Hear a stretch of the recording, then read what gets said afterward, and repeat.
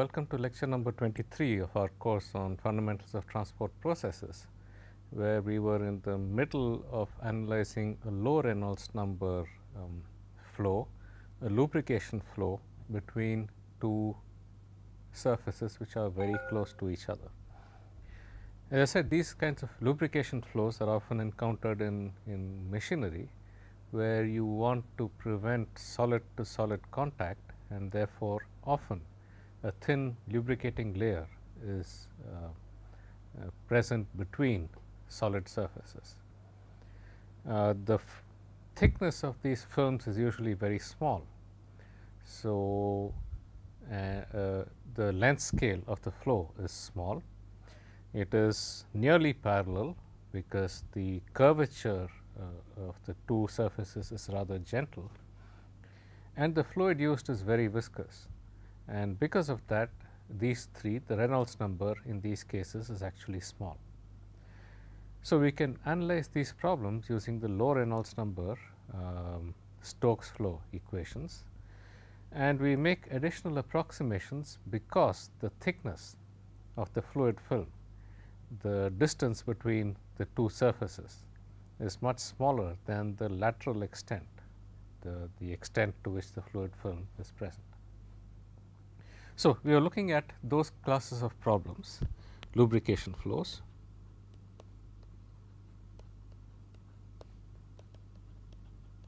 at low Reynolds number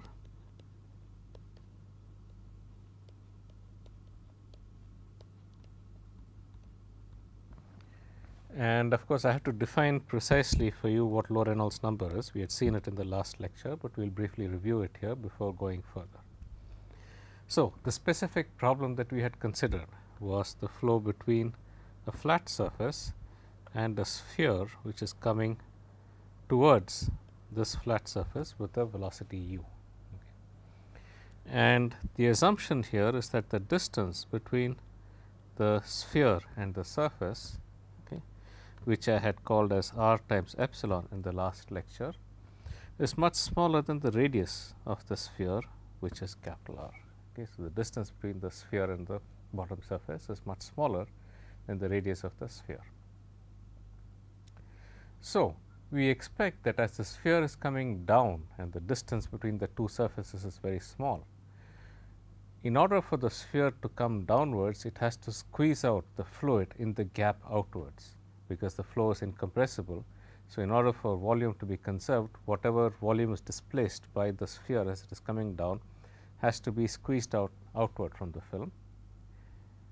And because it is squeezed out of a thin gap, the velocities are large, the shear stresses are large and that exerts a large pressure on the sphere which prevents it from coming downwards. So, that was the basic idea. So, we had expected intuitively that most of the force that is generated on the sphere is going to be generated due to this thin gap between the two surfaces. Therefore, we can focus our attention on this thin gap region between the two surfaces. Okay. So, I expand this out and I focus my attention there. Here I have a bottom surface which is flat and I have a top curved surface the radius, the center of the sphere is of course at uh, a distance which is large compared to the gap thickness. Okay. So, this thing is the radius of the sphere r and this thing is the gap thickness or epsilon. So, we have this axisymmetric configuration okay, where the entire configuration is axisymmetric about an axis perpendicular to the bottom surface which passes through the center of the sphere. Okay. So, because of that I can use a cylindrical coordinate system with this as an axis because there is no variation as you go around this axis.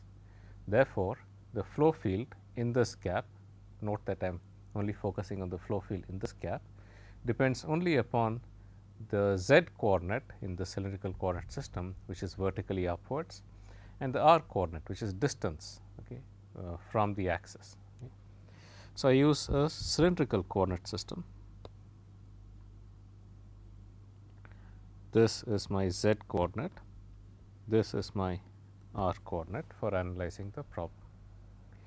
The boundary conditions if you recall at the bottom surface the velocity is equal to 0. That means that both u r and u z are equal to 0. Okay. At the bottom surface z is equal to 0, u r is equal to 0, u z is equal to 0. At the top surface okay, you have radial velocity is equal to 0, the sphere is coming vertically downward, okay, the sphere is coming vertically downward. Therefore, the radial velocity is equal to 0 and the axial velocity is equal to minus capital U, because it is coming down in the minus z direction. First things first, we scale the coordinates.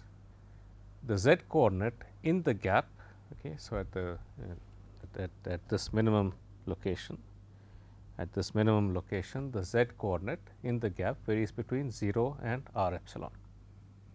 We are going to use the fact that epsilon is a small parameter okay. and therefore, in the limit as the sphere comes downwards this parameter epsilon goes to 0. Therefore, my gap thickness also is going to 0 in the limit as epsilon goes to 0. However, to solve the problem I should work in a scaled coordinate system in which the boundaries of the flow remain finite in the limit as epsilon goes to 0. Okay, so, I have a parameter epsilon which is going to 0. In the unscaled coordinate the gap thickness also goes to 0. So, every point within the fluid okay, the z coordinate of every point within the fluid is simultaneously going to 0. Okay. However, I should work in a scaled coordinate that is I should expand my coordinate in such a way that in the limit as epsilon goes to 0, the scaled coordinate remains finite. Okay, the scaled coordinate remains finite order 1. What do I mean by order 1? It does not either go to 0 or go to infinity in the limit as epsilon goes to 0. Okay, it remains finite in the limit as epsilon goes to 0. So, I should define my scaled coordinates such a way that in the limit as epsilon goes to 0, my scaled coordinates, scaled velocity, scaled pressure, they all remain finite. From that I will find out what is the magnitude of the force that is exerted. So, that is the fundamental principle here. I am taking the limit as epsilon goes to 0, but the scaled coordinate has to remain finite. So, therefore, it is natural to define z star is equal to z by r epsilon, because at z is equal to r epsilon, z star is equal to 1. How do I find out the, uh, the equation of the bottom surface here? Okay. The equation for the bottom surface h of r, we had done it in the last lecture. Okay. Let me just briefly review that. The equation for the surface is z minus z c the whole square plus r square is equal to capital R square, okay, where z c is the height of the center of the sphere. Okay. If you recall the r coordinate, okay, because we have put the axis along the center um, uh, uh, perpendicular to the surface through the center of the sphere, the r coordinate of the center of the sphere is equal to 0. Therefore, there is only a z coordinate for the center of the sphere. Okay. So, therefore, this z c which is the z coordinate of the center of the sphere Okay, from the bottom surface you go a distance r epsilon you touch the surface of the sphere, you go a further distance r up to the center of the sphere because the radius of the sphere is r. Okay. So, z c is equal to r into 1 plus epsilon. Okay. So, I will get z minus r into 1 plus epsilon is equal to square root of r square minus r square. Okay. Of course, I have to take the square root here let me just go back a little.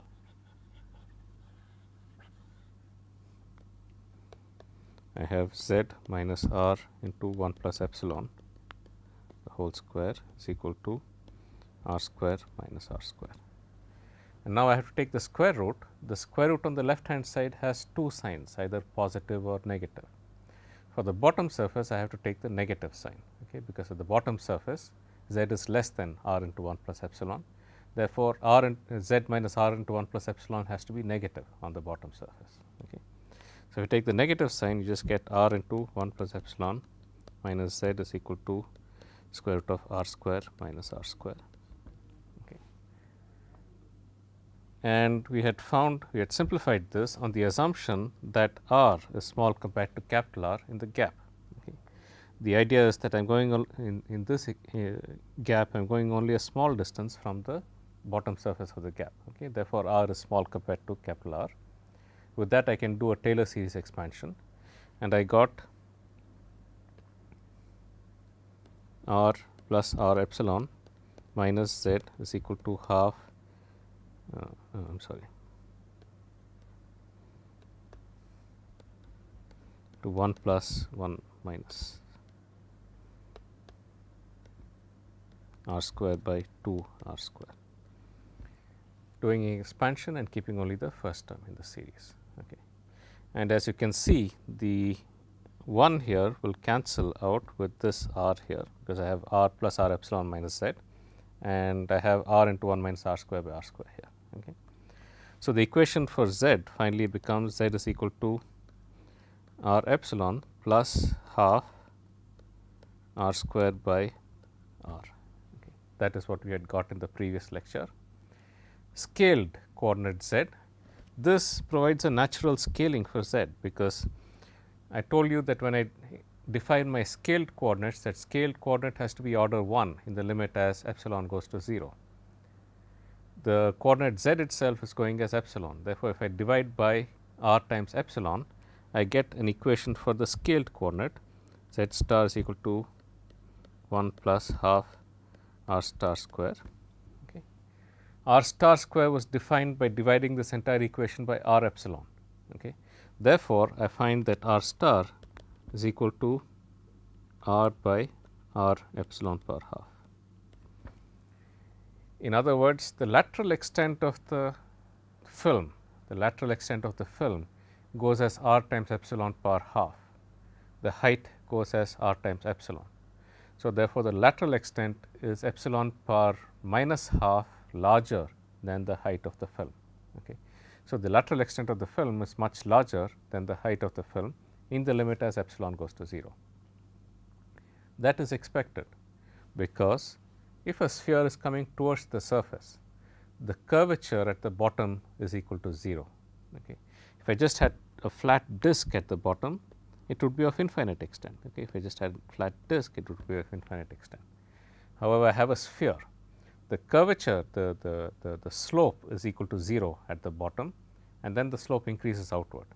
Therefore, you would expect the lateral extent to actually be larger, much larger than the height of the film. And we will use this to advantage in our scaling analysis. Okay.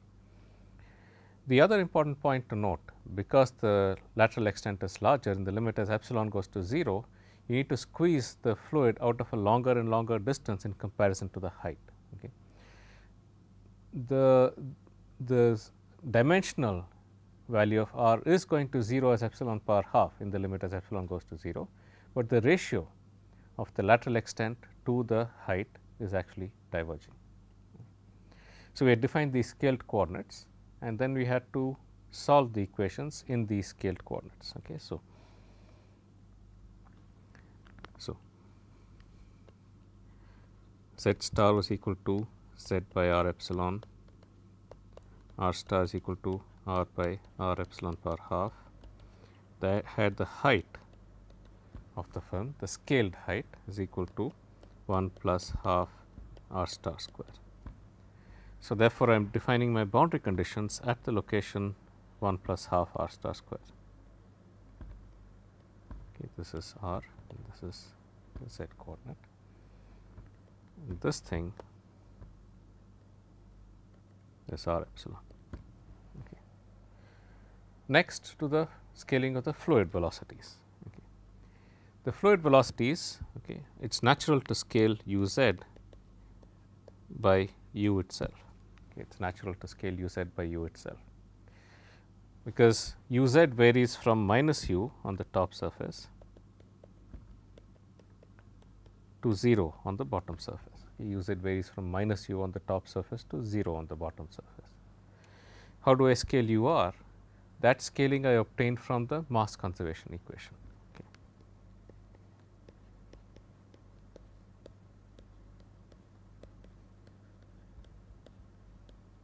is equal to 0. Okay.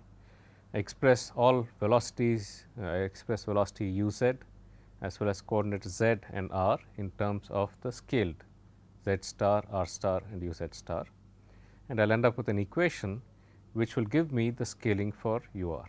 Okay. And if you recall in the last class we got that scaling as okay, u r by u by epsilon power half. And with this scaling my conservation equations become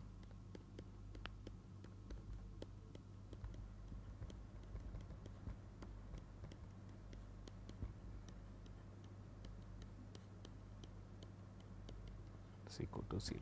Okay, so, that is the mass conservation equation. Important point to note the velocity u r is actually much larger than the velocity u z. If the scaled velocity u r star is order 1 that means that the dimensional velocity u r is proportional to u by epsilon power half. Even though u is finite epsilon goes to 0 the velocity u r goes to infinity. So, basically I have a large fluid velocity coming out of this thin gap. Okay. The reason is because the radial extent of this gap is large compared to the height. Okay. The fluid that is displaced goes as the area that is of the gap okay, which is basically the radius square. All of that volume that is displaced that is u times the radius square has to come out of the sides. The side uh, the, the height of the sides is proportional to the radius times the height and the ratio of those two gives me that the radial velocity has to be proportional to u by epsilon power half.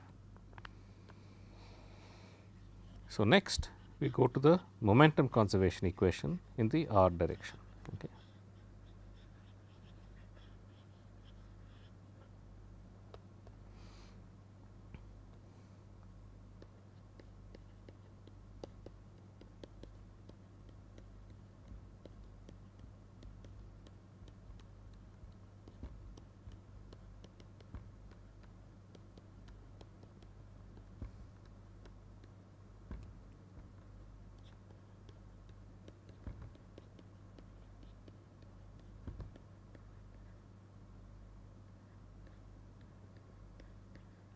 The momentum conservation equation in the radial direction.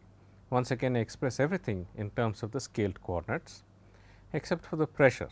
Okay, we still have not found out what the pressure is, okay. but once you express everything in terms of the scaled coordinates and divide throughout by the largest viscous term that is expected because we expect the viscous terms to dominate in this case. Divide by the largest viscous term in the conservation equation, we get an equation of the form rho u r epsilon by mu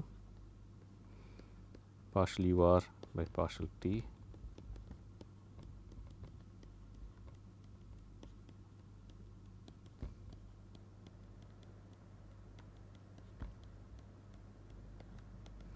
Minus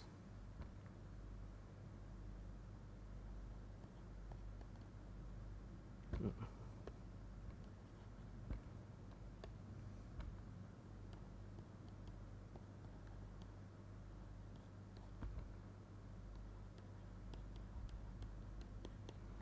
Plus the viscous terms which basically becomes partial square u r by partial z square plus epsilon into 1 by r.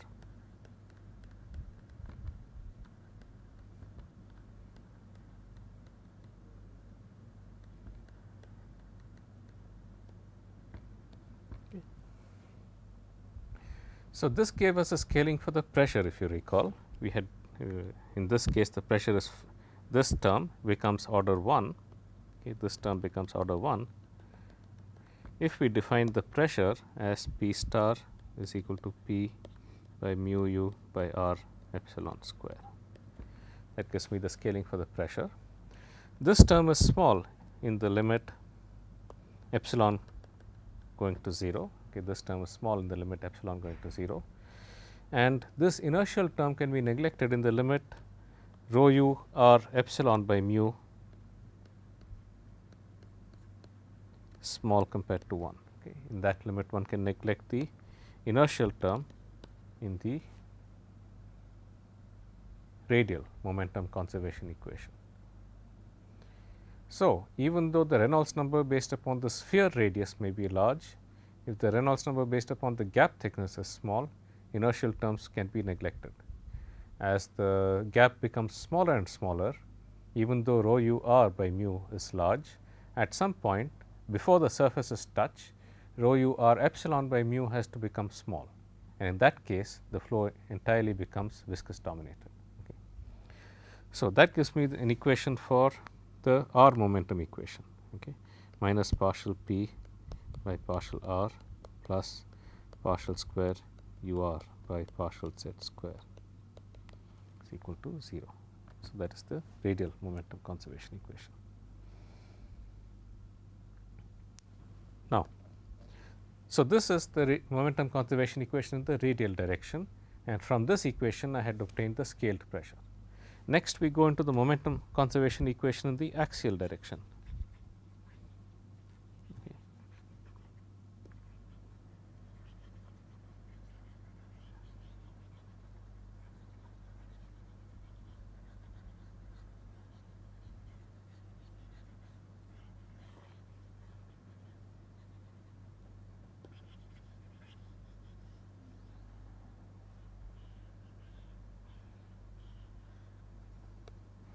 So, the momentum conservation equation in the axial direction is rho into partial u z by partial t plus u r partial u z by partial r plus u z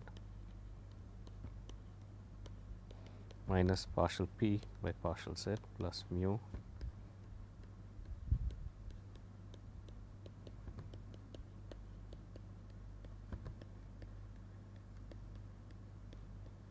that is the momentum conservation equation in the axial direction.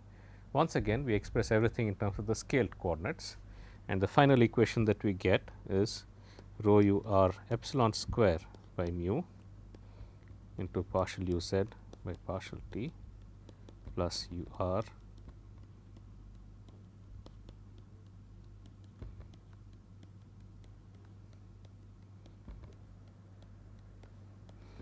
minus partial p by partial z? Plus epsilon partial squared u z by partial z square plus epsilon square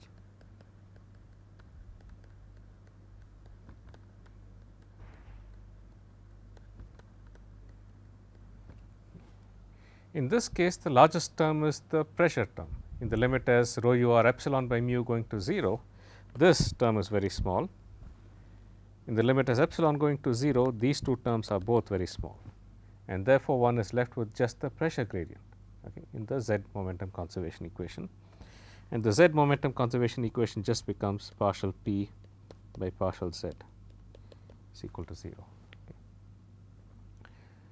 Physically why is partial p by partial z equal to 0? The physical reason is because in this gap there is a radial velocity okay, the shear stress exerted due to the radial velocity is being balanced by the pressure gradient in the radial direction.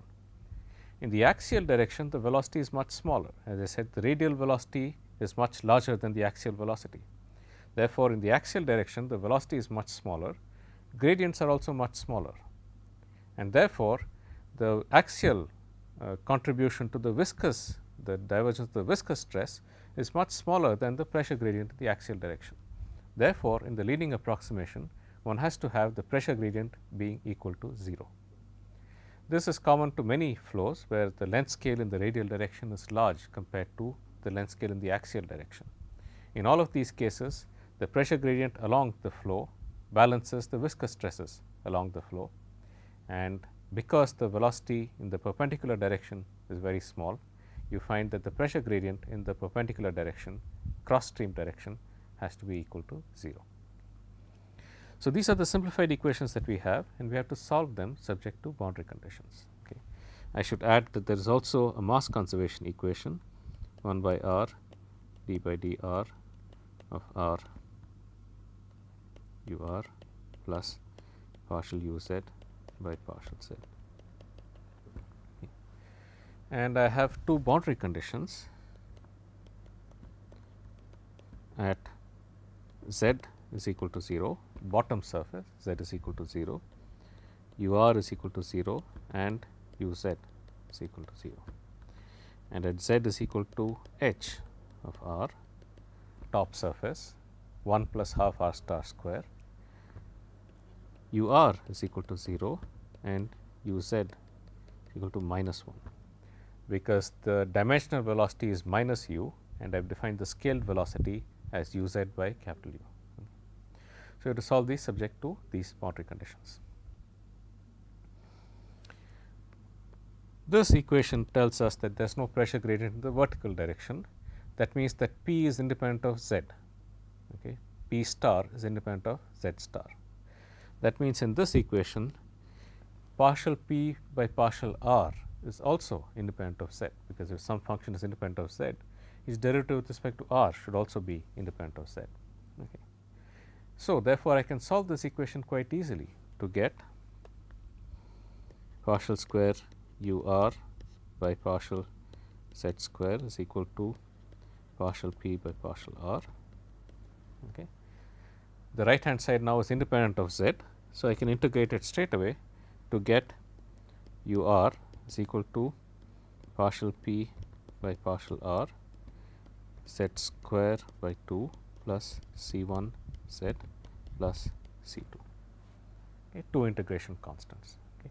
Note that both c 1 and c 2 could in general be functions of r, okay. both c 1 and c 2 in general could be functions of r.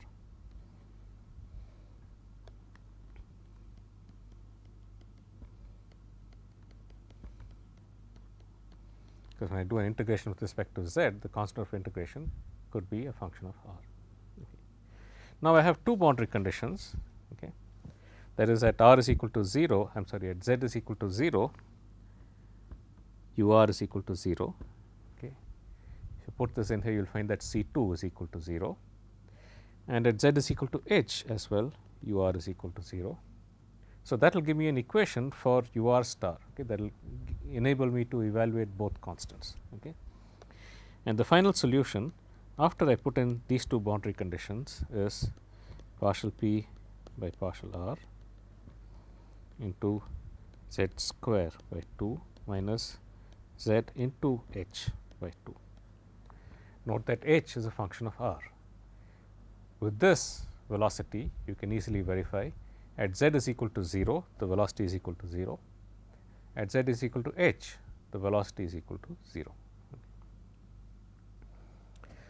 So, it appears that we have solved the problem except that we do not yet know what the pressure gradient is. Okay.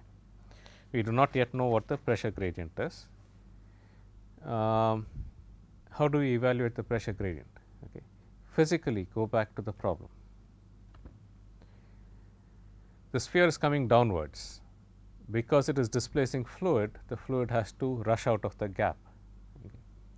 So, obviously, there has in order to drive the fluid out of the gap, there has to be a difference in pressure between the center of the gap and the outer flow. Okay. Between the center and the outer flow, there has to be a difference in pressure. Only when then will the fluid rush out of the gap. How do I calculate the pressure gradient across this gap or the difference in pressure between the center and the outside? That pressure gradient has to be whatever it takes for the fluid, for all of the fluid that is displaced to leave the gap. Okay. So, therefore, this pressure gradient has to come out somehow from a mass conservation condition that with this particular pressure gradient, whatever the fluid that is being displaced as the sphere is coming downwards is leaving the gap entirely, so that the sphere can come down. Note that while calculating this velocity profile, we still have not used the mass conservation condition. Okay. We calculated the velocity profile u r okay, with partial p by partial z is equal to 0. We still have not evaluated the pressure gradient. What we would have to do is the mass conservation equation gives us a relation between u r and u z. Okay. Note that we have not used the mass conservation equation. We have also not imposed the boundary conditions for u z yet. So, if I wanted to solve this systematically, what I would do is to actually use the mass conservation equation to evaluate what is u z. Okay. Would insert this equation, this solution for the velocity profile into the mass conservation equation, integrate it to get u z. That expression since the equation for u z is a first order differential equation that would contain one integration constant. I have two boundary conditions. So, I would use those two boundary conditions to set to calculate one integration constant plus the pressure gradient. So, that is a systematic way of doing it. A simpler way to do it is to just take the mass conservation equation and integrate it over the entire gap. Okay. So, let us do it the second way. Okay. My mass conservation equation is given by 1 by r d by dr of r partial r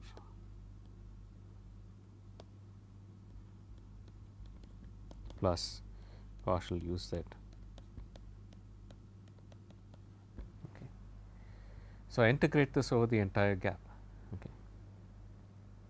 at any value of r. Okay. It does not matter what the value of r is. Okay. So, I do integral d z from 0 to h of r.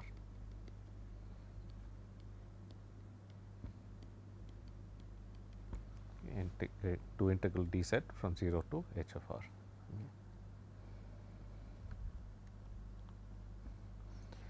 This second term is basically an integral of a derivative. The second term is an integral of a derivative. So, that is equal to the value of the function at the end points. Okay. The integral of the derivative is equal to the value of the function at the end points. Okay. So, therefore, I will get integral d z star 1 by r d by dr of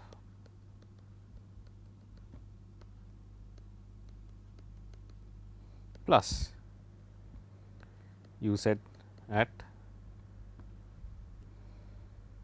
z is equal to h of r minus u z at z is equal to 0 that is equal to 0.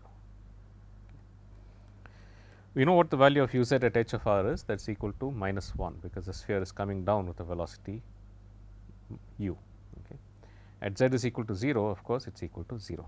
Okay. So, I get integral 0 to h of r d z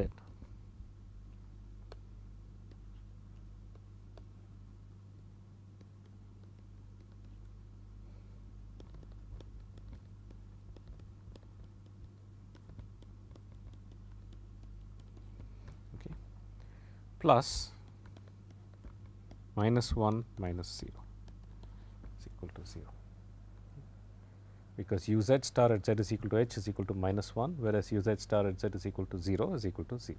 Okay. Now, this expression is the integral of a derivative okay, in which the limit actually depends upon h of r. Okay. It would be more convenient if I could just convert it into the derivative of an integral. Okay. In this particular case it turns out to be quite simple okay, and so I will go through that but in general it is not as simple. In this particular case it turns out that the result is simplified. So, let us try to examine that. Okay. So, if I had an equation of the form 1 by r d by dr of r into integral 0 to h of r dz times u r. This is the integral of a derivative in which the limit depends upon the variable of differentiation itself. Okay, this is the integral of a this is the derivative of an integral, where the limit of integration depends upon the variable which is being differentiated itself. Okay. We have seen this before. Okay. If you recall when we did the Leibniz rule, okay, I had said that integral okay, d by dt integral dv times some function rho okay,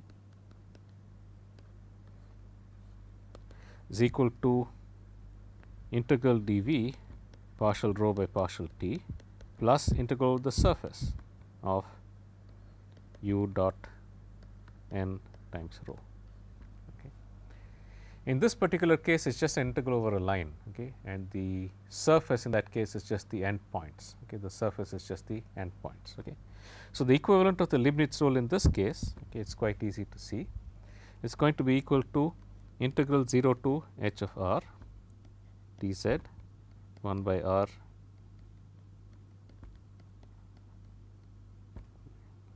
this off.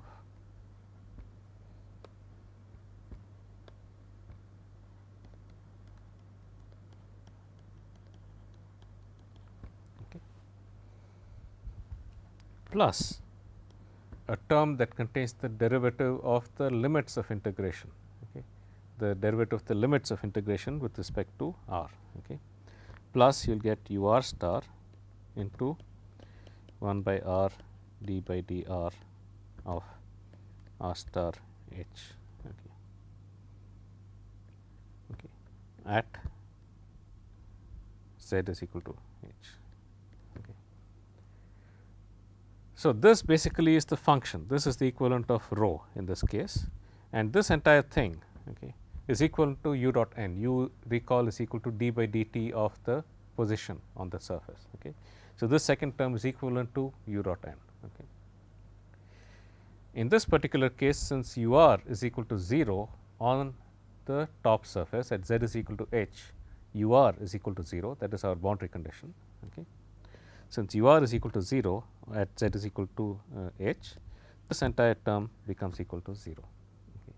In general, when you take the derivative outside or when you take the derivative inside, there is an additional term due to the variation of the end points of integration with respect to the coordinate r.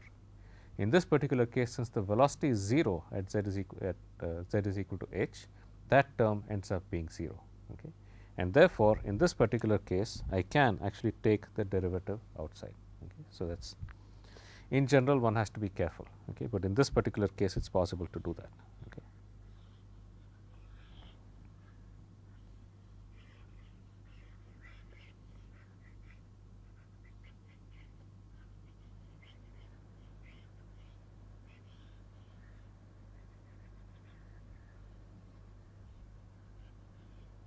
Okay. So, this basically gives me if I take the derivative outside I get 1 by r d by dr of r star into integral 0 to h of r star dz u r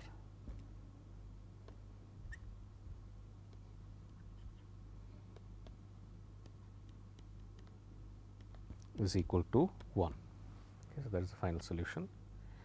And now I have to do this integral, okay, I have to do the integral of u r star. So, this is 1 by r d by dr of r star integral 0 to h of r d z into partial p by partial r into z square by 2 minus z h by 2 okay, is equal to You can do this integral quite easily and you will find that this the result is 1 by r d by dr of r star into minus h cubed by 12 partial p by partial r.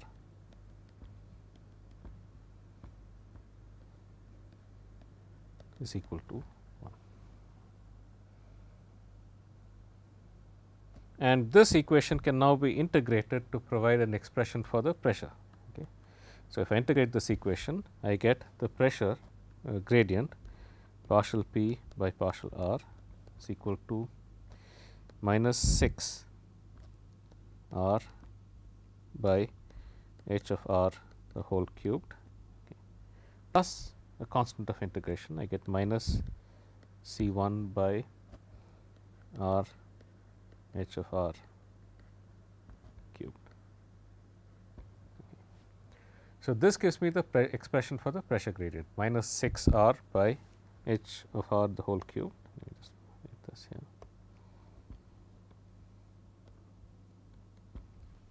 minus C 1 by r into h of r the whole cube okay, in all non-dimensional radius constant C 1 determined from the condition that the pressure gradient has to be finite as r goes to 0.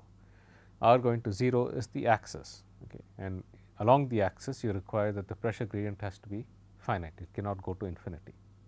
So, the requirement that the pressure gradient has to be finite implies that C 1 has to go to 0, otherwise the pressure gradient goes to infinity right at the origin. So, this gives me partial P by partial R. Order to get the pressure, I have to integrate it one more time.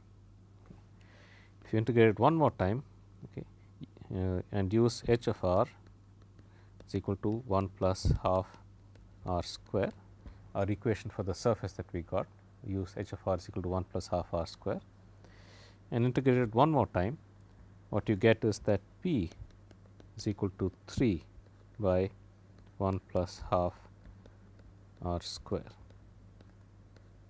plus a constant of integration C 2. What is the value of this constant of integration? Okay. We got one constant of integration from the condition that pressure has to be finite at r is equal to 0 along the axis. The second constant of integration comes out from the condition on the pressure as you go far away in the limit as r goes to infinity, because our gap extends in the radial direction from r is equal to 0 all the way to r is equal to infinity. What should the value of pressure be in the limit as r goes to infinity? As r goes to infinity, you are outside the gap. Okay. Note that I have this thin region, this is the axis. Okay. I have this thin region where the pressure is large. As you go outside, if you go outside to some location here, the pressure has to decrease to its value in the outer flow. Okay. Sphere is coming down with a velocity u. Okay. If we assume the flow is viscous okay, and the sphere is coming down with a velocity u, the pressure far away just from dimensional analysis, if you are sufficiently far away from the gap, that gap thickness is no longer a parameter, that epsilon is no longer a parameter, sufficiently far away. In that case, the only length scale of relevance is the radius of the sphere itself. Okay. So, the only length scale is r, velocity scale is u and therefore, the pressure far away has to go as mu u by r just from dimensional analysis. Okay. Therefore, if you go sufficiently far away in the limit as r star goes to infinity, the pressure goes as mu u by r. If you recall, I had defined my scale pressure as P by mu u by r epsilon square, okay, which means that as r goes to infinity, right, pressure goes as mu u by r that means P star which is divided by mu u by r epsilon square okay, has to go as epsilon square. The scaled pressure scaled by the appropriate pressure scale within the gap has to go to as epsilon square in the limit as r goes to infinity and the limit as epsilon goes to 0 this is effectively equal to 0 okay, because outside the gap the length and velocity scales are just capital R and u therefore, the pressure has to go as mu u by r. Inside the gap the appropriate scaling was mu u by r epsilon square. Therefore, this gap scaled pressure has to go as epsilon square as r goes to infinity and as epsilon goes to 0 this is equal to 0. So, P star goes to 0 as r star goes to infinity. As r star goes to infinity you can easily verify that this term is equal to 0 okay, because it is 1 over 1 plus half r star square. So, that implies that C 2 has got to be equal to 0. So, that has finally given us an expression for the pressure in the gap. Okay. So, the pressure in the gap is given by P star is equal to 3 by 1 plus half r star square the whole square. Kindly make a, a correction here there should be since this term goes as 1 over h cubed 1 plus half r star square the whole cubed this has to go as 1 plus half r star square the whole square okay, in the gap. So, that was the pressure our next task is to find the force acting on the sphere. Where do you expect the maximum contribution to the force to come from? Let us discuss this a little bit. I have a sphere which is coming towards the surface. Okay. So, I divided it into two regions. Okay. One is where r goes as r epsilon power half, therefore, r star goes as 1 and the other is the outer region where r star is equal to uh, where r goes as r. Okay. What do I expect the force in this thin gap to be? My pressure P scales as mu u by r epsilon square okay, that is the pressure within the gap region. What is the area of the gap region? Okay. The area is proportional to r square the projected area within the gap region. Okay. The radius is proportional to r times epsilon per half. Therefore, the projected area is proportional to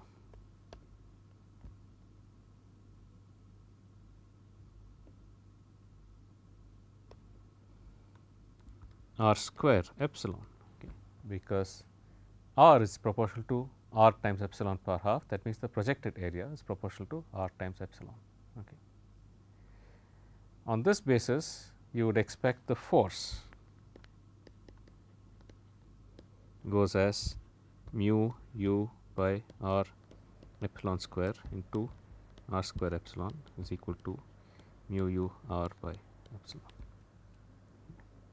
be careful here there is a numerical constant here. So, that is the force coming out of this thin gap region okay. that is the force coming out of this thin gap region where z is proportional to epsilon and the radius is proportional to r times epsilon power half. What about this outer region here? Okay. What about this outer region here?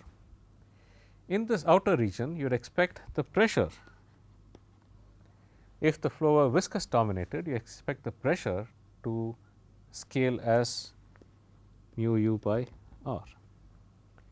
Reason is because there is now no the flow in the outer region does not depend upon epsilon anymore, because we are in the outer region that small gap thickness epsilon is no longer a factor. Therefore, the flow in the outer region cannot depend upon r times epsilon, it depends only on the, uh, on the only length scale available that is r itself velocity is u and therefore, the pressure goes as mu u by r. The area goes as r square because in the outer region the area of the surface area of the sphere is 4 pi r square projected area is pi r square. Okay. So, the area goes as r square. On this basis you would expect the force in the outer region goes as mu u times r. Clearly, in the limit as epsilon goes to 0 this force that is coming out of this gap region mu u r by epsilon is much larger than the force exerted in the outer region. That was the rationale for our focusing on this gap region, because as the particle comes down as the, as the sphere comes down generates large outward velocities. In order to push the fluid out you need a large pressure gradient and that could exert a large force on the sphere itself. Okay, so, that was our rationale for focusing on this region. Therefore, you would expect the force due to the flow in this thin gap to be much to cause the dominant contribution to the force. Now, this normal force is quite easy to calculate. It is just equal to the pressure times the projected area, okay, the pressure times the area perpendicular to the surface. Okay. So, therefore, the total force in the z direction the total force that is exerting upwards in the z direction okay, is going to be equal to integral r dr times the pressure. Uh, so, if you look from the top, okay, if you look at the same configuration from the top, you have one bottom surface, you have a bottom surface, I am looking from the top okay, and I have this sphere which is settling downwards and I have this region this thin gap of thickness r epsilon okay, at the bottom. So, the projected area is equal to 2 pi r times dr. Okay. So, I have factor of 2 pi here 2 pi r times dr times the pressure itself. And I can now express it in terms of the scaled coordinates because r is equal to r capital R by epsilon power half times r star Okay, so, I get 2 pi into r square by epsilon into r star okay, and the pressure scaling is equal to mu u I am sorry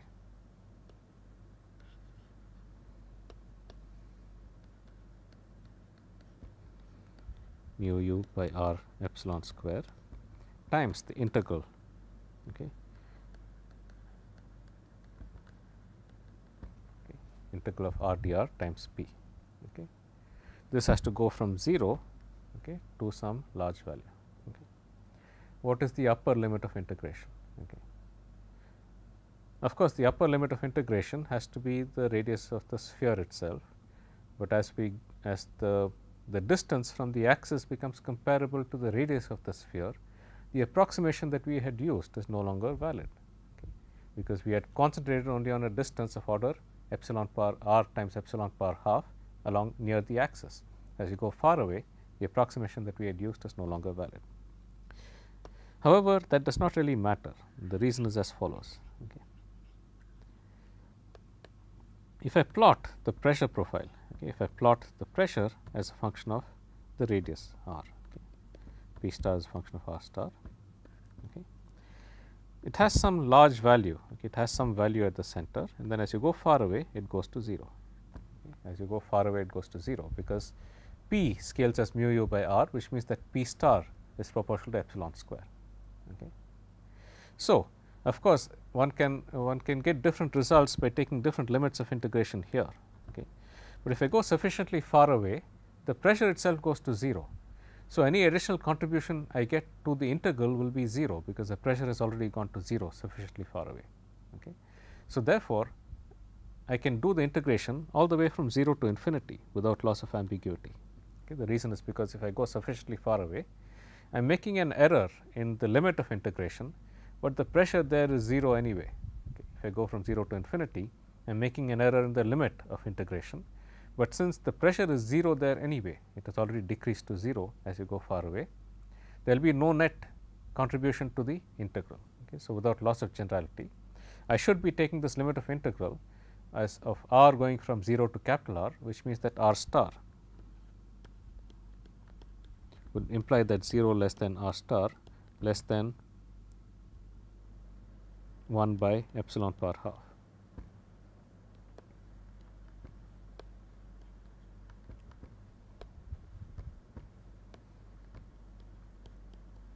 epsilon power half okay, which is basically 1 over epsilon power half. However, in the limit as epsilon goes to 0, this limit of integration goes to infinity and I can do the integral without um, uh, uh, uh, correct to leading order in epsilon by just taking the upper limit as infinity. Okay. Upper limit infinity is always possible in this case because my integral is convergent. Okay. As you recall the pressure is equal to 1 plus half r star square in the denominator. So, if I integrate from 0 to infinity the denominator goes as r star power 4, the numerator goes as r star times dr star and I get a convergent integral.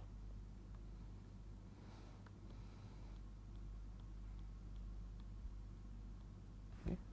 So, with that I will get 2 pi mu r u by epsilon integral 0 to infinity r star dr star into 3 by 1 plus half r square whole square. This turns out to be equal to 6 pi mu r u by epsilon. So, this is the leading order contribution to the force exerted on the surface. Okay. Note that this force was a pressure force okay, because as the sphere came down there had to be a radial flow generated and the pressure gradient that was generated was sufficient for all the fluid to flow out okay, so that the sphere can come down. You can see that this force increases proportional to 1 over epsilon in the limit as epsilon goes to 0. Okay. This has an important lesson because the force decreases Uh, increases as 1 over epsilon, the force goes to infinity as the surfaces come closer and closer. And that is why in lubrication approximations in machinery for example, you will almost never have solid to solid contact. The reason is because the force required for that for the force required for bringing two solid surfaces towards each other with a velocity u increases as 1 over the gap thickness. and that is the reason that two solid surfaces in real applications with an intervening viscous fluid film will never come into contact. The force goes as 1 over epsilon. The work done okay, to bring them together has to go as force times the distance. The distance is proportional to epsilon. So, if you integrate 1 over epsilon over distance, you will get a force uh, uh, the work done going as log of the distance between the two surfaces. Okay. 1 over x dx. Okay. The force goes as 1 over x. You integrate that over the distance x, you get a logarithmic function. Therefore, the force goes to infinity as 1 over the distance. The work done, work required to get two surfaces close to each other goes as log of the distance. Of course, this approximation, okay, this calculation assumes that the system is always in the continuum limit. In the case of liquids that is a good approximation.